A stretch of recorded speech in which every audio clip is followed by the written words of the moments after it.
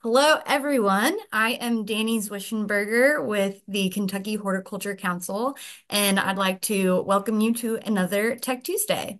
If you are new to Tech Tuesday, this is a series of educational tools meant to support high tunnel and greenhouse producers across the state and any growers interested in season extension in general. Um, today, we are doing a deep dive into all things insurance and kind of where greenhouses and high tunnels fall into that in terms of coverage options. And we are covering a lot of information today, and I'm very excited for the lineup of speakers here who will be sharing their experiences and their expertise on a topic that can sometimes be challenging to navigate for a lot of folks. So I am grateful that y'all are here and thank you to everyone else who is able to join us this afternoon. We are recording this meeting so that anybody can go back and have a listen if they weren't able to join us. And you'll be able to find this video and all of our past Tech Tuesday content on the Hort Council's website and social media pages if you'd like to get caught up. And I will definitely be sending out a follow-up email with those details after today's webinar, as well as further resources that get mentioned throughout the conversation. So just a couple of logistical notes before we get started today. This is a disclaimer that throughout our Tech Tuesday series, we do showcase a wide variety of tech companies, brands, and products, but the Kentucky Horticulture Council does not necessarily endorse um, any one of them specifically. The focus of this series is to educate and empower growers, and growers should make purchasing decisions based on the needs of their own operations. And lastly, if you have any questions for our speakers during this presentation, feel free to drop those questions in the chat, or if you'd prefer, there will be an opportunity after the presentations to ask aloud during a Q&A. So we will go ahead and jump into today's episode. And I'll kind of let each of our speakers introduce themselves in a little more depth before their individual presentations. But just as a quick overview, um, joining us is Casey Bird, a University of Kentucky Extension Associate in Greenhouse and Controlled Environments. And Casey was kind of the impetus for today's webinar topic as she's been working with Kentucky growers throughout the eastern part of our state in support of controlled environment operations and protected ag spaces. Um, we'll have Spencer Gwynn. He's a business development specialist at the Kentucky Center for Ag and Rural Development, or KCARD, which we'll hear more about. Um, we partner with them on the regular basis, and Spencer and his team work directly with growers to assist them with any number of challenges from marketing to organization to financial planning and beyond. Also on the call is Nathan Howell of Need More Acres in Western Kentucky, and also Victoria McFarland and Josh Abbott from Kentucky Farm Bureau Insurance. So it's a stacked lineup today. Um, I'm really grateful y'all are here. And with that, I will turn it over to Casey. Take it away. Hi, everyone. Um, thanks for joining. And um, for those of you viewing, thanks for viewing. Um, I'm going to share my screen here. I've got just a few slides.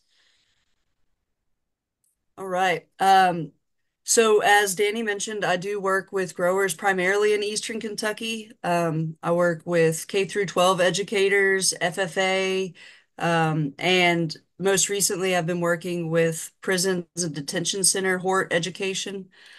Um, and one thing that we found even just yesterday, I was in Casey County and spoke to a, a grower, and he said, you know, I, I didn't realize that greenhouses could be insured, or I thought it was relatively hard.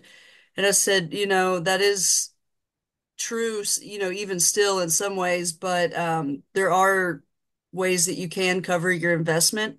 And um, we're actually doing this greenhouse series um, on it. And uh, for those of you that are attending the 2025 uh, Fruit and Vegetable Conference in Lexington, Kentucky, I will be presenting, um, you know, a short version of this and have some printed uh, handouts for those. So if you'll be there, come by, say hi, and um, let's get started.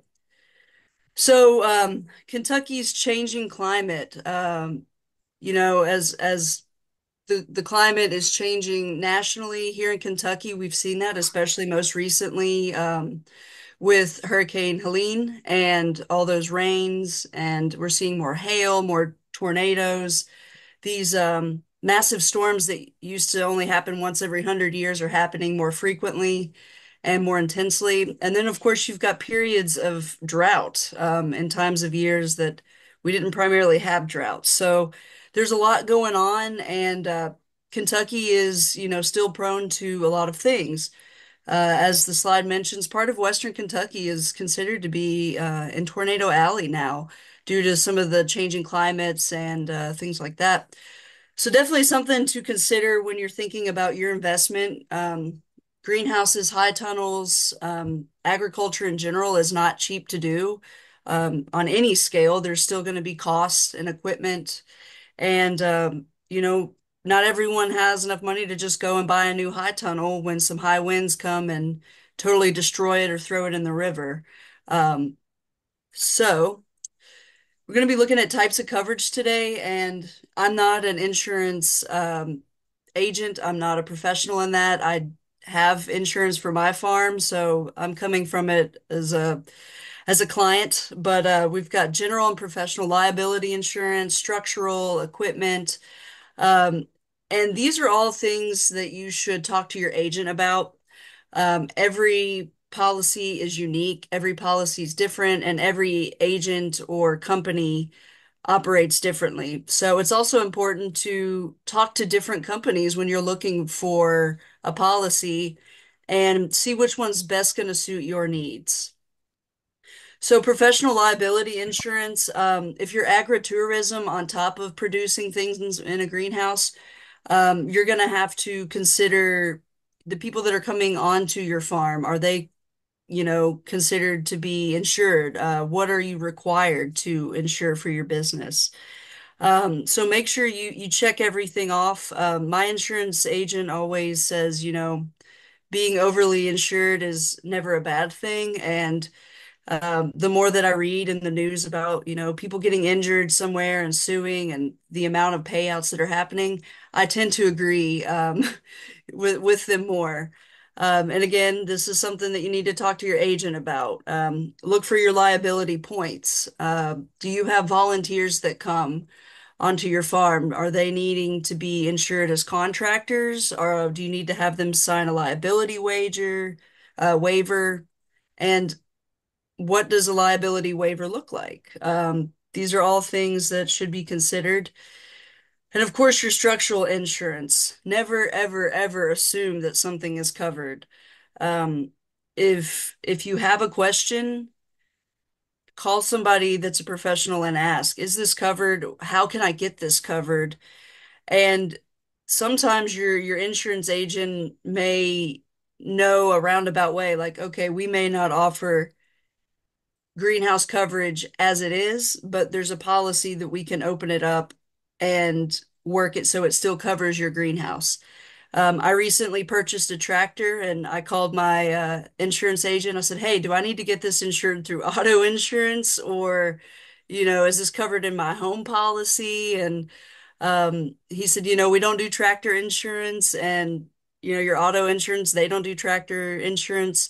So I um I got a farm policy opened up and I put that um that tractor on that policy and it's only for me just, you know, a few extra bucks a month, but um I feel a lot better knowing that if a flood came and damaged the engine or if a tree fell on it and cracked something on it, um it would be covered uh and that's peace of mind. Natural disasters, um, as you know, as I said, you never know when it's going to strike, how bad it's going to be. Um, even, you know, whether, you know, meteorologists, weather professionals, they can say, oh, the there's going to be a flood, but we only think it's going to be a few inches. Well, Mother Nature will say, watch this and go a few feet. So it's important to look at your geography. How close are you to bodies of water that could flood? Um, are you in an area where there's been tornadoes in the past 10, 20 years? Um, so I I personally walked around my house and I did just a really kind of cynical view of, okay, what could happen here? Worst case scenario. And I called my insurance agent. I said, "Hey, there's a lot of like standing dead trees is there any coverage for me to preemptively get these removed before they damage my house? And they were like, no, unfortunately not. So um, I'm trying to find ways to protect my investment um, in ways where my insurance doesn't quite do that preventative ca coverage. Um, so definitely walk around and, and look at what needs repaired, what what could be damaged take notes and um, I recommend scheduling a meeting, you know, even just a phone call or a drop in um, with your your insurance agent and just kind of give them an update on what you've invested in recently, um, things you're noticing that are different, and they may also have some community resources to help you get grants or whatnot to do some of that preemptive stuff.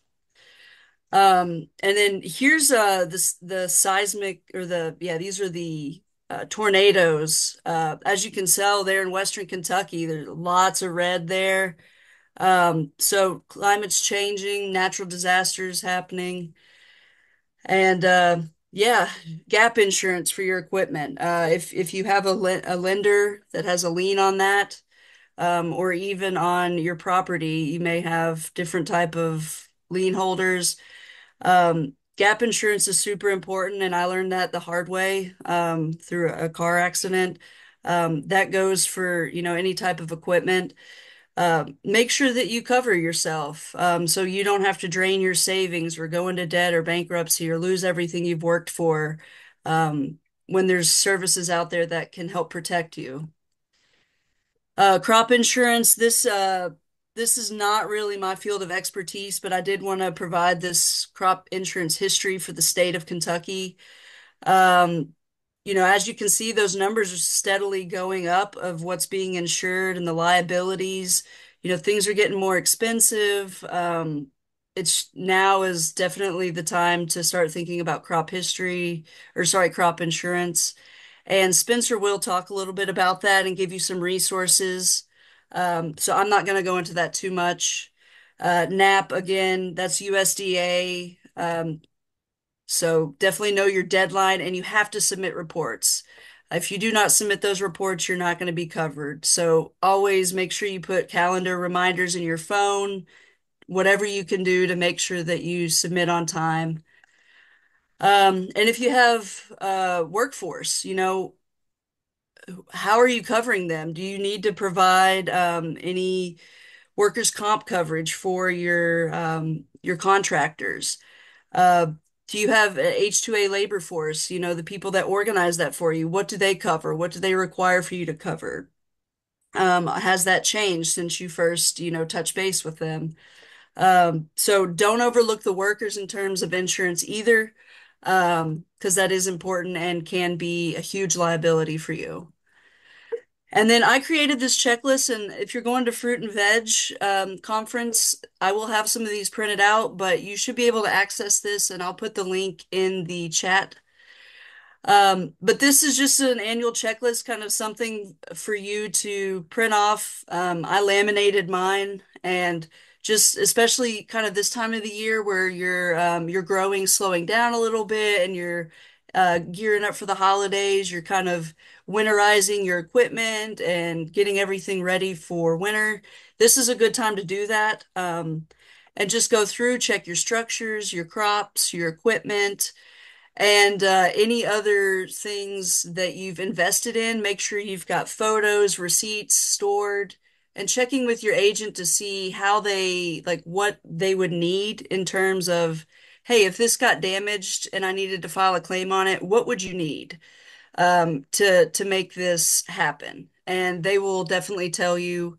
And uh, I always keep a hard copy of things and a virtual copy. Um, so thanks so much for uh, listening. And I believe we have Spencer next. Is that right? Yeah, that's right, Casey. Um, Awesome. Yeah, so um, Spencer here is with KCARD. Um, great organization, and I'm going to turn it over to him, and he's got some good stuff to share. awesome. Thanks, Casey. Appreciate the introduction and the information there. Um, I would like to turn it over. I've got a colleague of mine, uh, Logan Crawford, uh, business development uh, specialist here within KCARD. Uh, like myself. And I'd just like to turn it over to him, provide a little bit of history about our organization, and then I'll talk about a few more points related to some of the things that uh, Casey brought up earlier. So, Logan, I'll turn it over to you. Uh, Thanks, Spencer. Appreciate the introduction and glad to be on the call today. That's been a good learning experience so far. Um, I'll just give a, a brief uh, kind of overview of the Kentucky Center for Agriculture and Rural Development, just in case if you have heard of us, you may not know exactly what we do, just to kind of give a little brief synopsis. So KCARD, we're a, a nonprofit organization. Um, we were founded back in, in 2001 and we receive um, different uh, different grant funds from the Kentucky um, Agricultural Development Board as well as the USDA through their um, their uh, Rural Cooperative Development Grant. And we're able to provide services to farmers and agribusinesses throughout the state of Kentucky, um, typically at no charge to them. And just some of those services, I'll just kind of mention real quick that we provide. Um, business plan development. Um, we do a lot of work with farmers and ag businesses on if they're starting a new business or expanding an existing business. Oftentimes, they need to either create a new business plan or beef up their current business plan. So we offer those services. Um, we've also done some marketing assistance um, with with different producers throughout the state, um, identifying potential markets for them to sell their products in, social media strategies, different things like that. We've also done financial analysis and financial projections for different organizations. Oftentimes, when you're uh, expanding or creating a new business, it's a good idea to project out income and expenses for a for a certain time period out in the future. So we specialize a lot of we we specialize with helping producers um, estimate their costs and revenue. Um, we also do a lot of work with uh, record keeping assistance, helping farmers understand good record keeping practices, and then also developing tools that will help them keep good records. Um, you know, especially if they're not wanting to use QuickBooks or something like that, we'll try to work with them with different spreadsheets and things. Um, and then we also um, help uh, agribusinesses and farmers locate and apply for uh, funding throughout the state that they may apply for that will help them enhance their business. So uh, we kind of do a lot of different things, and if there's anything that um, if you need help with or have a have a have a client or someone who needs services like that, definitely uh, send them our way, and we'll do our best to to take care of them. Awesome. Yeah. Thanks, Logan. I think that's uh give everybody a little rundown about what we do here. Uh, I think that's good for everybody to know the services we offer. Uh, one thing that I did want to share uh, before I get into a, a brief talk about things, if I can share my screen.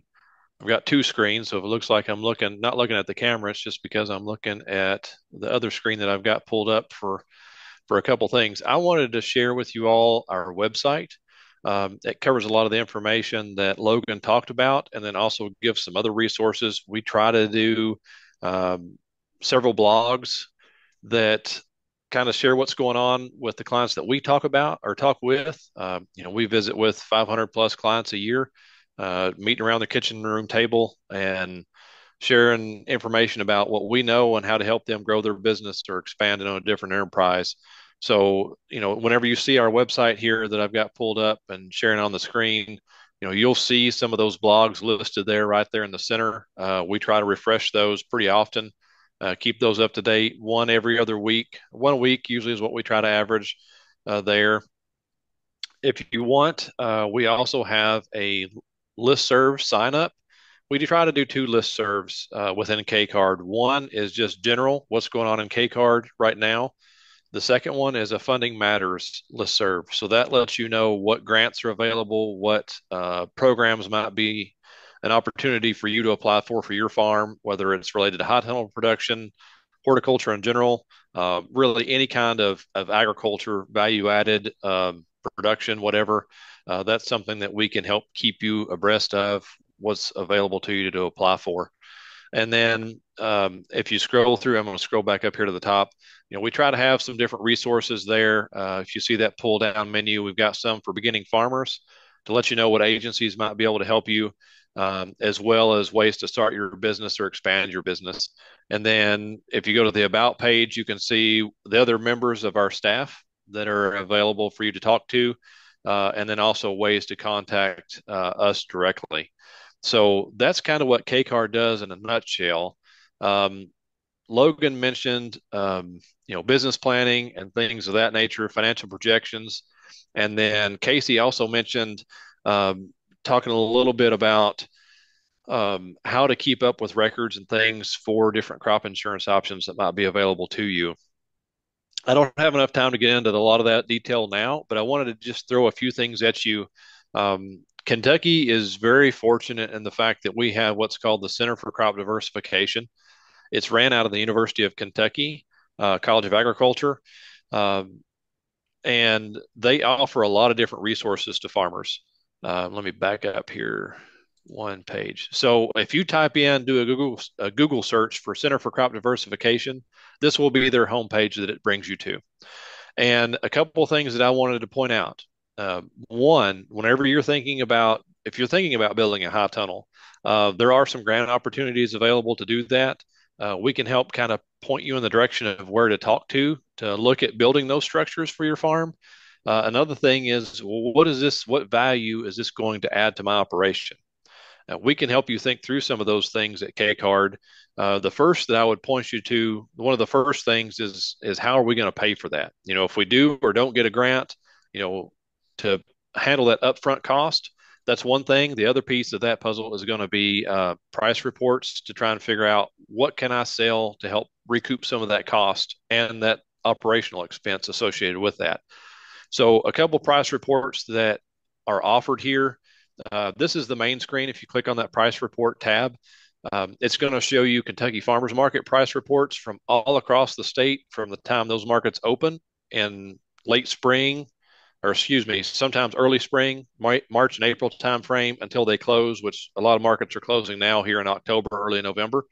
So they'll have a price report list from a selection of markets all across the state that you can look up uh, and see what you know more direct to consumer pricing would be. The other one, if you're thinking of doing things more on a larger scale uh, to try and utilize that high tunnel or controlled environment agriculture in your operation, then Kentucky produce auction price reports would be more for that wholesale account that you might have. And that's going to show you price reports from all across the state, uh, you know, again, from the time those markets open until they close in a growing season. But that will also show you reports for those across our, our Commonwealth. The only other thing that I wanted to show real quickly, just so that you have an idea of that it's here, is budgets. Um, if you come to us and ask for help with putting together financials for your farming operation, um, in addition to the marketing plan to support where you know you might sell your things and who your target customers might be, this would be the next piece of that puzzle. Is is trying to figure out what it's going to cost to produce in that high tunnel uh, or in open field growing conditions uh, for different crops. You know, what I usually do, I'm a farmer myself in central Kentucky, so I can kind of think of it from the business side, and then I can also think of it from the producer side. Um, and several of us on staff have that skill set and experience as well. So we try to help you think through some common budgets that are available. I usually start right here. If you see this kind of lit up with a vegetable production uh, and melon budget, I usually start with a small scale for a high tunnel, and then we add in those costs that might not be incurred because this is based on open field growing conditions. So let's think about how it relates to you and a high tunnel production system. Um, so that's that's kind of the couple things that I wanted to highlight for you uh, today as far as that goes. Um, to circle back with the crop insurance discussion that Casey mentioned, um, that's something that we could sit down, be glad to sit down and talk with you about. We also have a list of crop insurance agents that are available for you to work with across our state. Um, as Danny mentioned early on, we don't endorse or support any one particular agent or entity, but we try to provide a list of people that we have heard good things about. So that's something that we can help direct you with. And then we can also help to try and help you think through record keeping strategies because whenever you do a crop insurance um, policy, one of the things that you need to keep a track of is um, what your yield is for those crops. So we can help you think of some ways based on what type of production ag you're involved with that can help utilize those systems and policies.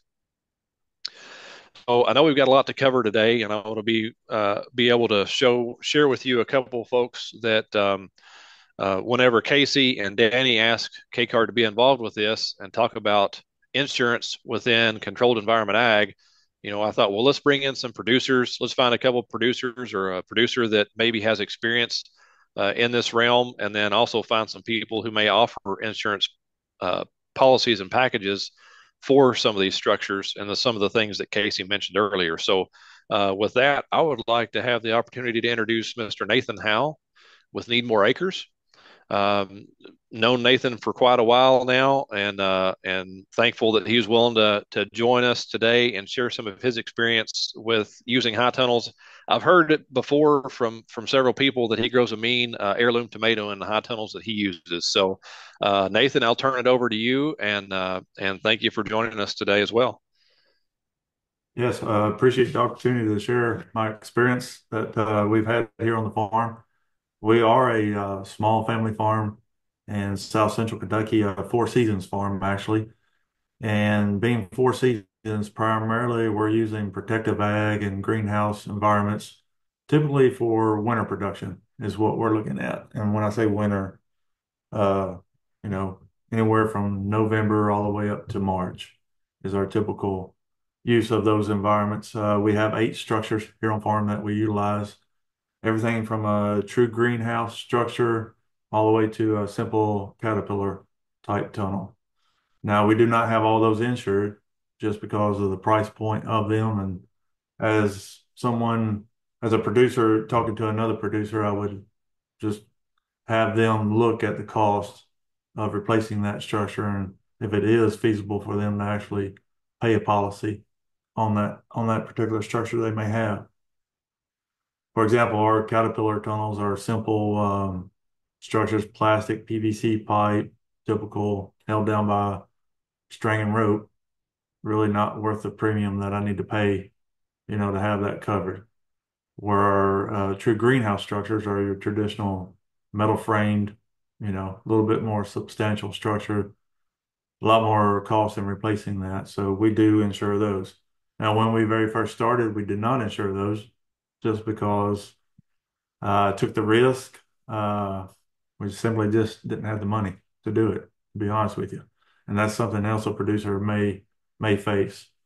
Um, but over the past years, uh, as we've grown, we've been able to be have that extra income where we feel that we can pay those premiums and have those insured. Now, my experience that you've asked me to share actually came, uh, I call it the Kentucky Hurricane. I don't know what the official name of that event was, but it was March the 3rd of 23 when we had uh, sustained winds of 20, 30 mile an hour and peaks of around 80, 80 plus here on the farm. Uh, and I will share with you the structures that I had damage on were structures that were single layer plastic. Uh, the double layered uh, with the air blown in insulation layer. Uh, I had no damage on those structures. And we had three of those on farm. And of the four that actually got damage, uh, three of those were insured. One was that little poly caterpillar tunnel that we're talking about, and it wound up in my neighbor's treetops. So, uh, but the, the process uh, that you asked me to share the first thing in any situation, it, it, it's almost like any claim. Uh, contact your agent, you know, get that initial start going. Uh, I did that by phone call uh, with, and I am insured with Kentucky Farm Bureau. Uh, or you have the option, they have a hotline that you can actually file a claim on, or you can file a claim online uh, through your own uh, personal account with them. Uh, I actually called the agent firsthand, and he actually helped me file the claim. The next step after filing that claim, of course, it goes to a regional office, and I think there's 15 spread out throughout the state of Kentucky. Fortunately, I'm here uh, pretty close to Bowling Green area, and there's a uh, claims office there. But once it goes through claims office, the regional claims office, uh, they'll appoint a an adjuster that will come out and physically see the damage. Uh, that is, as a producer, that's where I would highly suggest that you be prepared. Uh, you know, we've been talking about records and so forth. Have the records of what that tunnel cost, have your policy with you, know what you have on what coverage you actually have on that particular structure itself, and have any photos that you've taken. It's hard not to clean up stuff, but if you cannot clean up anything until that adjuster comes out, that's probably better, uh, I would feel. Uh, if you do any cleanup, don't dispose of any of the excess plastic or greenhouse materials. Uh, keep them, you know, somewhere on the farm so that adjuster probably can at least see them. Um, and the third, the final, the the thing about I was I was not fortunate of having the damage, but when I had the damage, I was kind of fortunate because that fell under a what Kentucky Farm Bureau classifies as a catastrophic event. So that actually sped up the process for me, uh, believe it or not. They actually had more folks like boots on ground type situation in that that particular. They had so many claims, uh, they brought in extra help. And from the time I actually called my agent to probably getting a reimbursement or a check in my hand was under two weeks. And I felt that was pretty fast in that situation and understanding how many claims they actually had. Mine was really small to a lot of individuals, you know, that lost homes and so forth, but I uh, it helped me get that structure back where it needed to be to protect the crops in it. The actual coverage that I have is just it's under my farm policy. So it would be like if you insured a barn or a tool shed. Uh, we have our packing shed under that same section of that policy. And they are considered uh, just private greenhouse structures. Uh, I'm trying to look at my policy here to make sure I tell you right. I do have a um, an endorsement on those of snow, ice, and sleet, and also have an endorsement of debris removal on there. So it paid for any physical labor that I had to hire or do myself to to dispose of the plastics and so forth. Now, my particular policy, and as uh, was mentioned earlier, all policies are different. So just make sure you know what's on your policy and you've got the coverage that you want. Mine actually just covers frame structure, uh, does not cover any crop underneath, does not cover the actual plastic itself. It covers the frame, uh, the baseboards, heaters, anything uh, hard structure in there. I will say with that though, when I submitted this, uh, the adjuster and uh, agent and the uh, claims office all worked with me, and we were able to actually cover some of that plastic in that. So they helped. Kentucky Farm Bureau really helped me and stepped up to the plate and was able to get get that covered for me also. Uh, I think that's all I have actually to share. Hopefully, I have some good questions. I'm a more of a question answer kind of guy, but hopefully that helped out a little bit. Yeah, thanks, Nathan. I, I think that was good. It, and it, it gives, we, we wanted to try and provide folks listening or, or maybe watching later on uh, an idea of, you know, firsthand experience. I think that was great. Uh, so appreciate you doing that today and being willing to, to talk openly about it. Um, you know, as I mentioned, whenever Casey and Danny asked us to be a part of this, the other thing that I thought about was, well, let's see if we can find some folks who who live and breathe insurance and can talk a little bit about um, you know the policy side of things in addition to what the producers experience you know in getting the insurance and then dealing with the claim in the unfortunate event that something does happen so um, reached out to a couple contacts and thankful that uh, Victoria McFarland and Mr. Josh Abbott were able to join us today from Kentucky Farm Bureau. Um, Josh, I understand you're a claims director, and Miss Victoria, I think you're a commercial field underwriter for a southern part of Kentucky. So, thank you all for joining us today to to talk the insurance world and, and kind of help give folks an idea of what and how they can protect these things if they decide to implement them. So, with that, I'll turn it over to you all, and uh, and and thank you all again. Thanks, Spencer, and we're grateful to be a part of here and be invited. Um, Nathan, it was nice to hear your perspective on how you got your claim handled, and I appreciate that, and I appreciate listening to that. Um, I'm a field underwriter for the southeastern part of the state. Spencer had mentioned that, and I work alongside with agents at the front end of the policy when they're writing it. And so I see um, a few things that you know we might want to take care of working with the agents.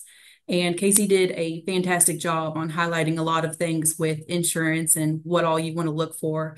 But I definitely want to add some um, tips on my side. Um, I wrote my notes here, and I've been writing notes all along so I can keep up with everything. But um, definitely want to reiterate what Casey said and keep your agent informed, keep that open communication. If you add buildings, if you subtract buildings, if you add activities, definitely want to let them know um, any changes that you do have on your farm. So that way we can, they can make sure that you're being taken care of in terms of what changes are happening. Um, also with farms you see, you know, going to events or hosting events, you definitely want to ask for any insurance requirements that you may have um, and talk with your agent over insurance requirements or certificates that you may need or they may need or liability limits and discuss liability limits that you may have for insurance requirements. Um, definitely make sure that your liability limits are in tune with what you have. Um, Nathan, you did a great job at mentioning that and just saying, you know, this is the buildings that you have. You want to make sure that they're insured if you're able to do it. If not, you want to make sure you have the liability coverage for them if it's needed. Um, and my biggest thing that I hope I can say is just make sure you definitely communicate with your agent and let them know what's going on. Um, you want to make sure that if you do have any changes or if you're thinking about any changes or adding or subtracting that you're you're discussing with them and at least pricing it or knowing a little bit more inside with it. Um, it's hard to know everything about everything, especially in insurance. And so having that point of contact is really important, I would say. So definitely reach out to your agent. I'm a talker naturally, though, so I won't take up our full time. I'm going to turn it over to Josh Abbott. He does a great job with claims and he has a lot more insight than I would have. Yeah, thank you, Victoria, and uh, thank you for allowing us to join today. Um, first of all, I'll say, Casey, you did a fantastic job uh, outlining insurance as a whole. Uh, the convective storms that have affected us over the past uh, three years now have uh, truly been a challenge. Uh, Nathan, you referenced the event of March 3rd of last year. for Kentucky Farm Bureau alone, that was 44,000 claims and over $400 million in damage. So um, I appreciate uh, the perspective that you bring with that um, experience that you had. Um, and having said that, I think my my part of this call, um, Nathan covered a lot of it very well, but how to efficiently file a claim. And I think the one thing that you've got to consider when you're ready to file a claim is uh, being prepared to tell your story. Uh, we consider that first call the first notice of loss uh, in insurance terms, FNOL.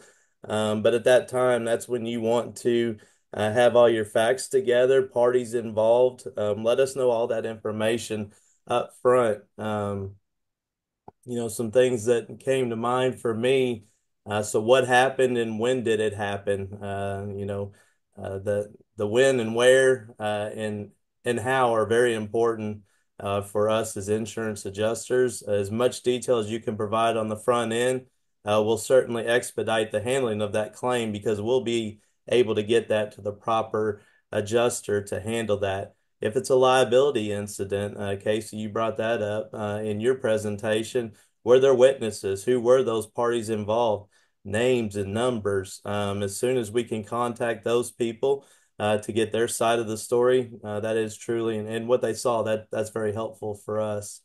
Um, also tell you, um, you know, with with reporting a claim, be timely with it. Um, if you notice something, so whether it be uh, related to a structure or related to even inventory that you have uh, within that structure, uh, be timely with it. If you acknowledge that something is wrong, uh, call your agent and get some advice from them, is what I would do uh, whether or not to proceed with that claim because they'll give you good advice on that. Uh, for crop insurance, as I understand it, we don't handle crop insurance at Kentucky Farm Bureau. Many of our agents may help you uh, do that, but there are some uh, reporting requirements as far as time involved with that. I think you've got 72 hours more or less uh, by way of a lot of policies to report the claim, and there might be 15 day requirements around harvesting. So just make sure that you know the requirements. Nathan talked about the policy uh, know the policy and the requirements associated with that. Um, let's see. Accurate loss location is super important. Um, you know, a lot of farms will be spread out um, amongst uh, several acres, hundreds of acres even, or multiple locations. And so if you do call in a claim, uh, regardless of what it's to, let us know where that loss is located at. If you have your policy dec page uh, and you can outline the description around that structure or even uh, the farm that it's on, outline that for us when you call that in. And again, that will just help us expedite uh, getting that claim to the right person uh, in that area with that knowledge or skill set to be able to evaluate that. Um, if you've got damaged equipment and you can find an associated serial number, uh, those serial numbers are associated with uh, those items listed on your dec page a lot of times. And again, that's just going to streamline the process for us. Um, the other thing that I'll tell you, Nathan, you kind of mentioned this, preserve any evidence. So I'll tell you, mitigate your damages. Uh, so in the in the case that we have a windstorm, you want to, uh, as soon as possible, take any photos of the damage. Uh, but as soon as you can mitigate the damage to whatever the contents are, um, you know, uh, within that structure, uh, mitigate those damages, get that covered uh, with those with those pictures. That that should document the loss well enough uh, for us to go ahead and handle that. Again, um, looking back to uh, March 3rd of last year, uh, we did have a lot of people out handling claims, and um, when you're put in that position, you're you're you're trying to help uh, your members get back in a better spot as soon as possible. So any photos, um, anything like that, if you've got estimates even before the adjuster gets out there, that's great to have. Knowing the value of um, you know, your property your structure, that's super important as well.